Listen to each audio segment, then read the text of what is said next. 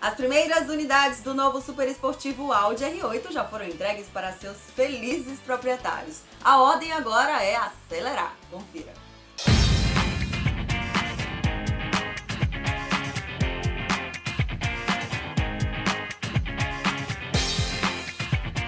Com vendas esgotadas em pouco tempo, a pré-venda do super esportivo Audi R8 foi um sucesso no primeiro semestre deste ano. Agora, poucos meses depois, e com a possibilidade do cliente fazer até 1 milhão e 600 mil combinações possíveis para personalização do carro, a montadora faz a entrega dos primeiros modelos.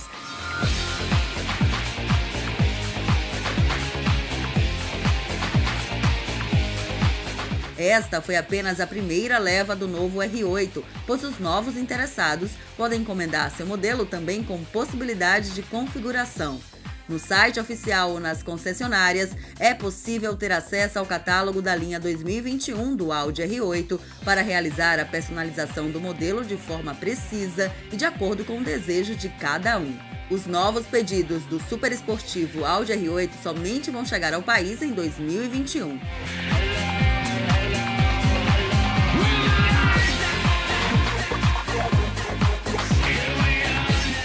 Para celebrar a entrega das primeiras unidades, uma concessionária promoveu um encontro com proprietários do Audi R8 e outros modelos da linha Audi Sport.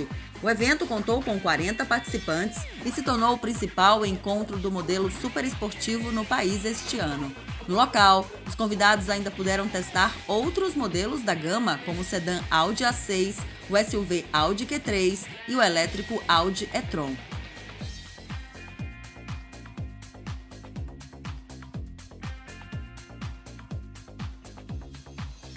Os pedidos do super esportivo podem ter diversos itens do veículo personalizados, como cores externas, side blade, acabamentos externo e interno, capa do retrovisor, cor do logotipo da Audi, design de roda de 20 polegadas, pinça de freio, revestimento do teto e padrão do revestimento dos assentos.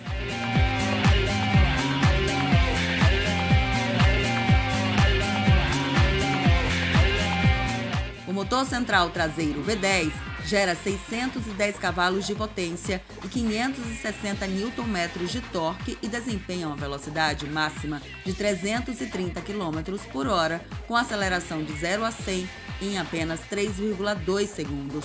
A transmissão é a S-Tronic de 7 velocidades e o veículo conta ainda com a tradicional tração integral 4.